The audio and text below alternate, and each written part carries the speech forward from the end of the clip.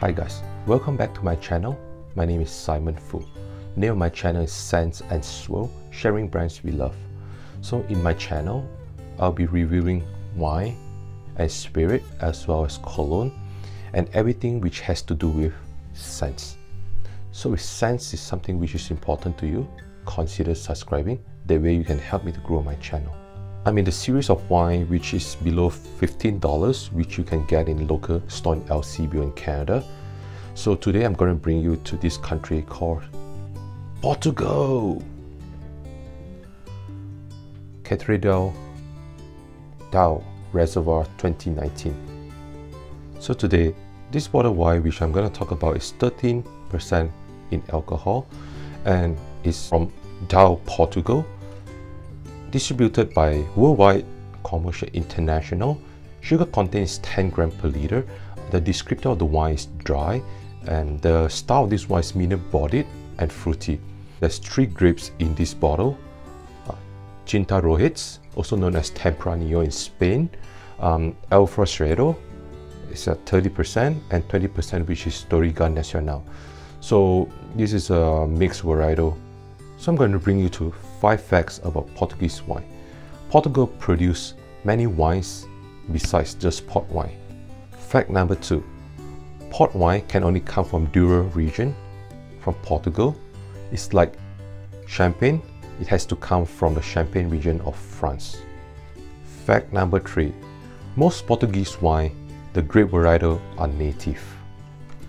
Fact number 4. Generally speaking, you pay lesser for Portuguese wine is because Portuguese wine are usually underrated. Fact number 5.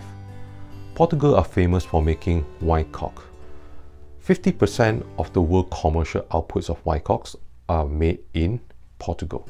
So let me walk you through a little bit about the history of this brand. Dão is one of the oldest established wine region in Portugal, located just south of uh, the famous Douro Valley. The mountainous region is home for Touriga Nacional, the principal of uh, variety of port wine. For more details about this brand and the company, I'll put this product below the link description.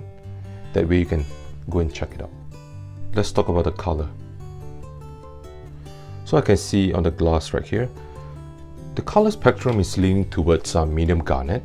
And in terms of the legs, when I give it a swirl, I would say moderate legs which indicates a high alcohol as well as the viscosity, thickness and the stickiness in the wine as well as the sugar content in this bottle of wine. Right on top are predominant aroma of ripe dark fruits as well as uh, red fruits as well. As I give it a second sniff, I begin to pick up bouquet of uh, oak barrel in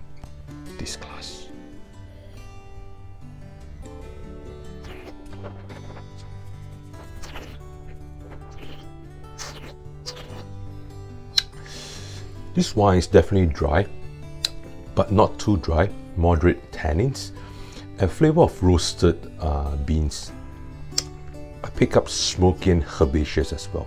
On the mid palate, notably soft tannin, uh, not too much, uh, packed with lots of uh, dark ripe fruits in it as well. When it comes to finishing, on the back of my palate, it exhibits medium finish with notable florist flaw and earthiness in this taste profile. So it's time for me to review this wine. I'm going to rate this wine 4 out of 5 star and 85 to 89 very good quality wine. This wine have lots of complexity in it and it tastes pretty good.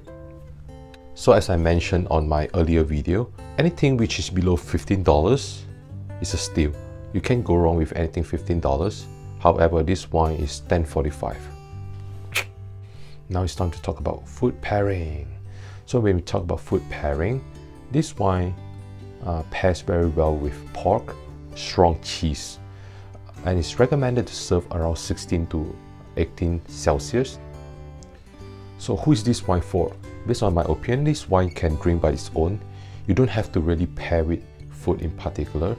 Like some wine uh, it's better for you to pair with food. But this wine you can just pull away with just a movie night as well as you just enjoy over the weekends or anytime as you wish. If you're looking for something medium to full body spectrum and below $15, give Cathedral Dão Reserva 2019 a try. So I'm just gonna talk a little bit about this book before I wrap up today's video. So this author is uh, Aldo Sohm.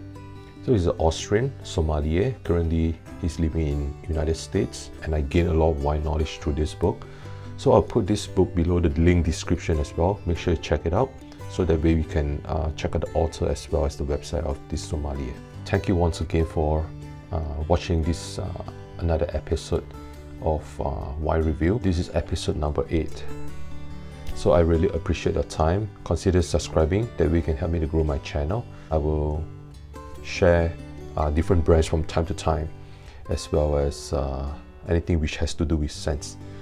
To be meet again. Peace out. Cheers.